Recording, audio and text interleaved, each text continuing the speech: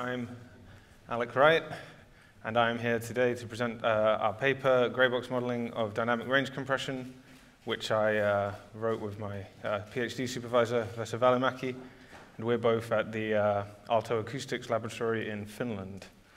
So, um, yeah, I'm just going to give a outline of the talk, so I'm going to do a brief introduction, although we've already heard a bit about compressors today. So.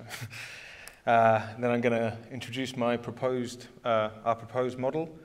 Um, I'm going to talk about how this model can be trained to an emulate an analog compressor. And I'm going to uh, share some results.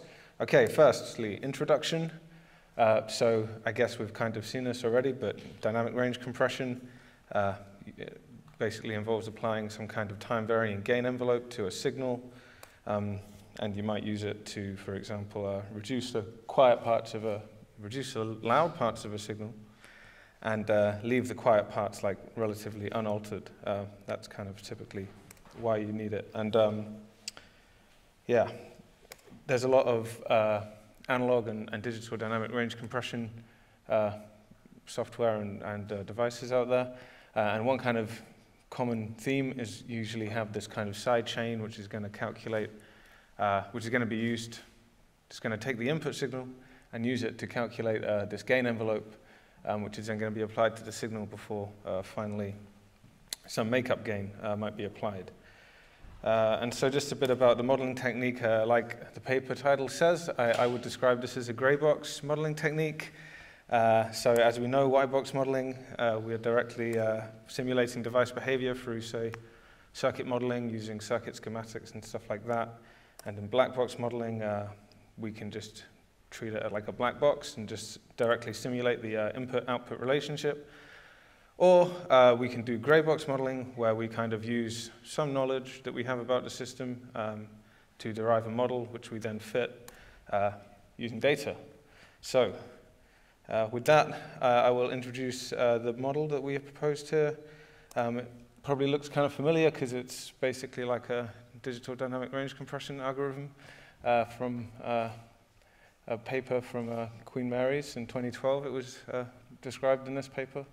Uh, yeah, and I'll just go through the components quickly now. So the input signal goes to a sidechain where it's converted into the log domain, and then it will go into the static gain computer. So essentially, this is just a uh, input-output characteristic um, parameterized by these uh, parameters uh, threshold, uh, ratio, and knee width.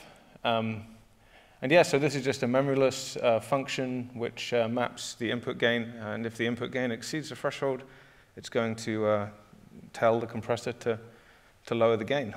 Um, and yeah, so in our model, we could just have a fixed gain curve or for example, if we want to include uh, conditioning parameter values, such as like user controls on the device, uh, we can use some kind of hyperconditioning uh, MLP, uh, which will then map the uh, conditioning data to the parameters. Um, and we just used a simple uh, two hidden layer MLP with a tanh activation function for this work. we didn't explore really much alternatives because it doesn't need to be evaluated very often, so it uh, doesn't have to be that cheap. Um, okay, so after the static gain computer, you have this uh, gain characteristic curve. Uh, the one in blue is what we get out of the static gain computer, um, which you notice is really you know, jagged and, and spiky, and so we, we don't want to apply that to our signal straight away. It's going to it's gonna make it sound really bad, so we apply smoothing through this uh, level detector block, um, which we're implementing just as a one-pole filter. Uh, so yeah, it's going to produce a smooth gain envelope. Um, we parameterize this one-pole filter with a time constant tau. Um, you can calculate the uh, corresponding filter parameter alpha uh, using this formula. So this ensures that the uh, filter stability is, um, this ensures the filter stability uh, using this parameterization. And uh, yeah, you can just see the difference equation and, and step response uh, plotted there. Okay, so um, this filter, um, because it's, uh, it is an IIR filter, but you can also approximate it uh, easily as an FIR filter, um, which is useful for training uh, on GPUs, for example. Um, but what you might want to have is a one-pole filter with independent attack and release times so that uh, the behavior can vary uh, depending on whether you're in the attack or release phase. So uh, we've also included this uh, one-pole filter with independent attack and release times. So uh, this seems more realistic to uh, what you actually get in, in analog devices.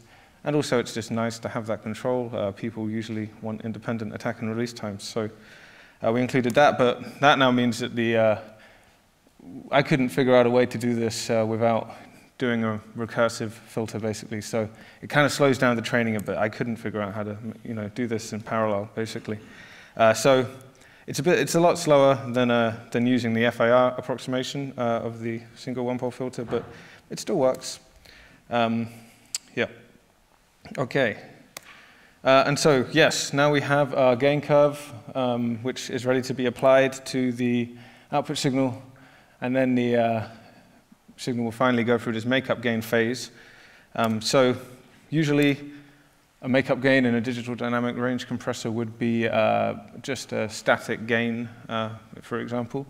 However, you know, often in a, in a real analog compressor, for example, you would probably have, well, you, you can't really do that. So you would have something like a uh, makeup gain tube amplifier or something like that. So, so what we propose um, to try out is to replace this makeup gain uh, with a small recurrent uh, neural network uh, based on a previous model that we've used for guitar amplifier modeling. So, so now there's a little black box at the end of the uh, model, uh, but it's, it's really little. It just has a single layer GRU. It's got a hidden size of four, uh, so it's not too expensive.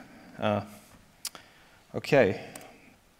So now I will talk about training this model. So this has just been implemented in PyTorch and trained using stochastic gradient descent. Um, we tried two time domain loss functions. Firstly, this error to signal ratio, which is the squared error divided by the signal energy.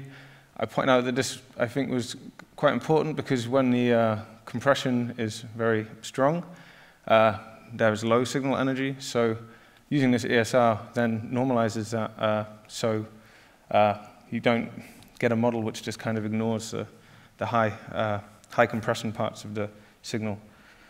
Um, we also tried this uh, multi-resolution short-time energy loss. Uh, and this is simply uh, calculated by dividing the signal into short overlapping frames. Um, and the loss will then just compare the energy in the output and the target frames. Uh, and we did it at multiple resolutions, as seems to be the trend. And yeah, with different frame sizes and and hop sizes. And the idea here was just that uh, you know, it doesn't require such strict uh, time alignment, time domain alignment of the input and the uh, output of the model and the target. Um, yes, and for training, we uh, split the data into two and a half second segments, and we carried out parameter updates uh, every 8,000 samples or so uh, to train the model. Okay, so to validate this model, we, uh, we, we, trained a model of this uh, Teletronix LA2A compressor, which is also an optical compressor. Uh, we used a data set that somebody else made. Uh, this was released in 2019 uh, from Signal Train, uh, reference at the end. and basically, yeah, it, it, has this peak reduction knob, which affects how much compression is applied. Um, in the full data set, there is it, the peak reduction knob has varied from 0 to 100 in steps of 5.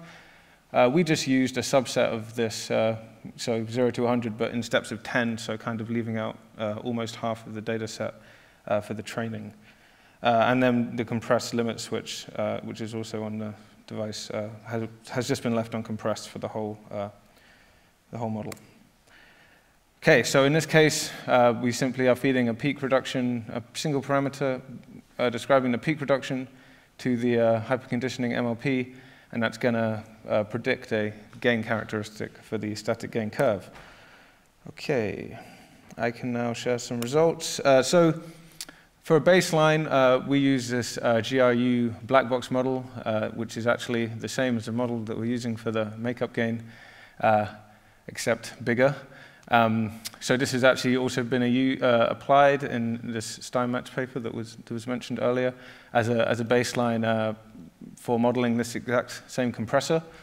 Um, so yeah, we just use it as a baseline uh, to see how uh, our proposed model uh, stacks up. So yes, firstly, uh, we have a model here which was trained, which has a static makeup gain. So there's no GRU at the output. So it's been trained with this multi-resolution short-term energy loss.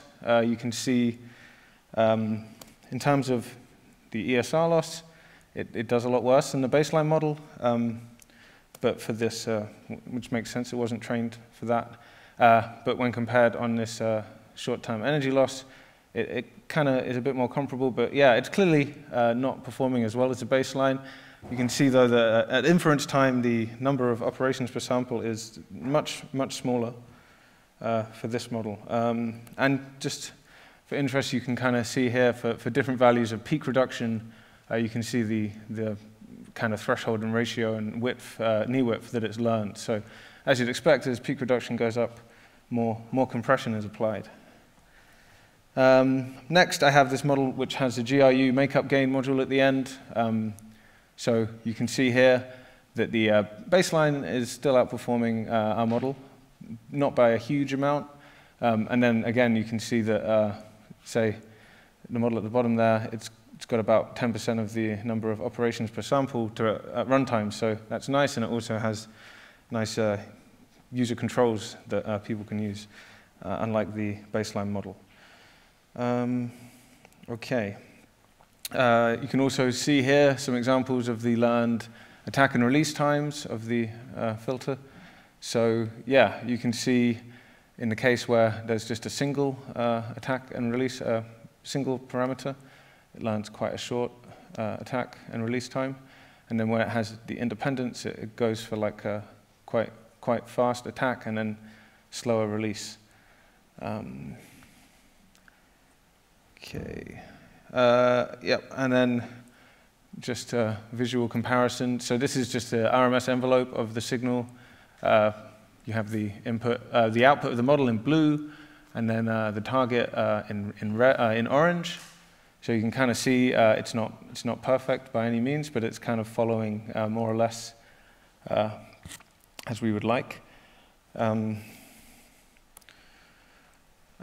also, we did some kind of extra validation because we wanted to see, I mentioned earlier that we left out a lot of the peak reduction values from the training data set. So here you can see the test loss calculated for those peak reduction values that weren't in the data set, in the training data set at all. Um, so you can see that, yeah, maybe there's like a slight increase in error sometimes, but it's usually, it seems to generalize pretty well.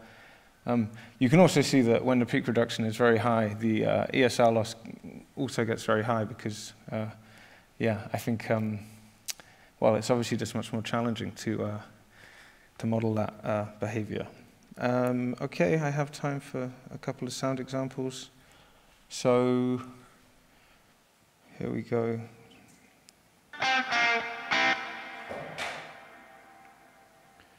And then from the compressor, you can kind of hear there's a lot more sustain at the end there. Um, our baseline model.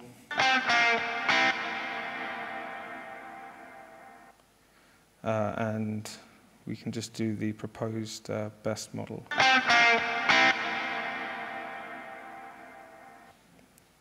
Um, Okay, and we can just do this quickly.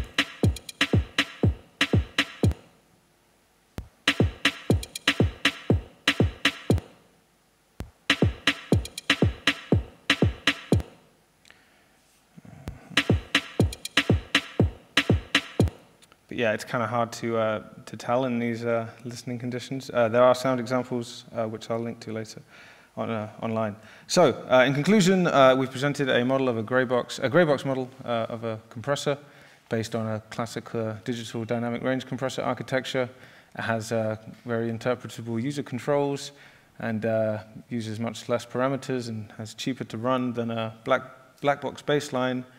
For future work, yeah, perceptual evaluation would, would be important. It's not that easy, in my opinion, to assess how, how accurate the model is in that term. Um, and yeah, maybe more integration of user controls as we only had uh, the one in, in this case.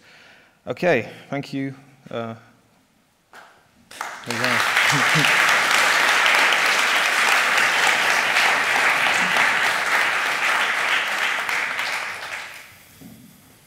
right, thank you very much, Alec. Uh, we have a question here already in the front. You refer to compressor model, which was, I think, presented something like five years ago by uh, Joshua Reiss team. And uh, in this case, you have attack release in logarithmic domain. It's good. It's a, for good compressor, it's a good solution. But uh, LA compressor is not like this. So you cannot compare or you will not get a good result if, if uh, attack releases in linear domain. And attack release can be before static engine or after static engine. There are different models, and uh, I, I, I, think it doesn't work well if we, if we use wrong model to, to a certain analog compressor. Just. Yeah, I mean... It's, it's completely different behavior if you have this attack release engine uh, within logarithmic domain mm -hmm. or within linear domain. Okay, yeah. Well, making changes to that architecture would, would be pretty trivial to do. So, yeah, yeah. Thanks. For you, for the future. Do you have uh, more questions? Now we have a, a, minute. I just wanted to ask real quick. You mentioned it uh, was the last bullet point, uh, extending the model to maybe take into account uh, attack and release parameters. Yes you got lucky that the LA2A doesn't have those, right? So you, you picked yeah. the right one. Uh, but I don't know, did you already have a look at uh, any other maybe uh, data set that has? Well, I, I did experiment with a, with a pedal, but it was challenging actually because I felt like uh, the parameters weren't, weren't so well, uh, they weren't so independent from each stage of the compressor, you know? So, uh, yeah, but I, I didn't get very far with that, basically. Do you think maybe just uh, putting them as conditioning with hyper conditioning, uh, as you did with them, it should work, right? Yeah. Okay. yeah. The only the only thing that I would be concerned about is like giving too much information to this uh, makeup gain module because you don't want it to like start just doing the compression itself because then the model is not very interpretable anymore. Yeah. Uh, right. yeah. Thank you. right. I think there was a question from Sebastian here front. We have time for one more. Um, could you go back to the peak reduction plot fairly at the end?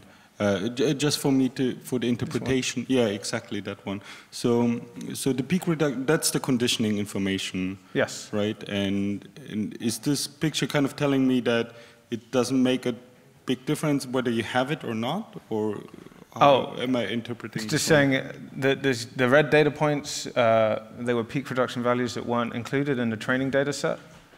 Um, and now they've been used to calculate the test loss, just to show that it, it generalizes to these values that weren't seen during mm. training, basically. Yeah. Okay, so but if you would leave out the conditioning entirely, that then this works way way worse the whole time. How, do you mean leave out the conditioning? Uh, just not do conditioning. Uh, that you don't have that information. Uh, but wouldn't, I mean, you could learn a single parameter control, I guess, but Okay, maybe there's some more basic confusion on my side. Okay. okay, thanks. All right, we need to move on. Uh, let's thank the speaker once again. Thank you, Alex.